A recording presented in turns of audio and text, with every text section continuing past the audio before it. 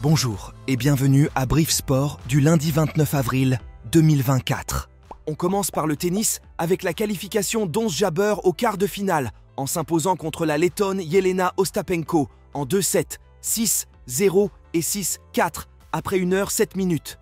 Au prochain tour, on se défiera la gagnante du duel américain opposant Coco Gauff, 3 mondial, et Madison Keys, numéro 20 WTA, pour une place en demi-finale. On passe aux compétitions africaines interclubs, d'abord la CAF-CL, et la finale allée EST Al-Ali à Rades a été désignée pour le samedi 18 mai à partir de 20h, alors que les Égyptiens reçoivent les espérantistes au Caire le samedi 25 mai à 20h. Ces deux matchs sont à suivre en direct sur la chaîne Bein Sports HD6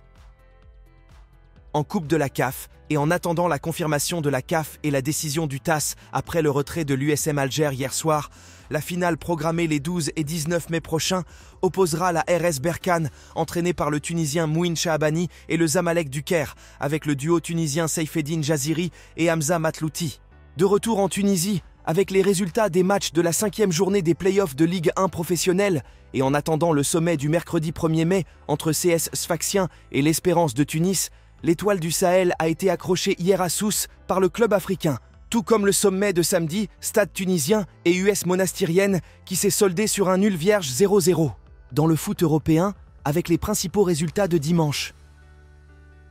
En Italie, le sommet AS Roma-Naples s'est soldé sur un résultat nul, deux buts partout, alors que le champion Inter Milan a battu Torino deux buts à zéro.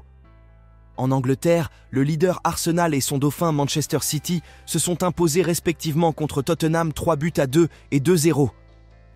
En France, le PSG a été sacré champion pour la douzième fois de son histoire, malgré son match nul 3-3 contre Le Havre et profitant de la défaite de l'AS Monaco 1 0 contre l'Olympique lyonnais.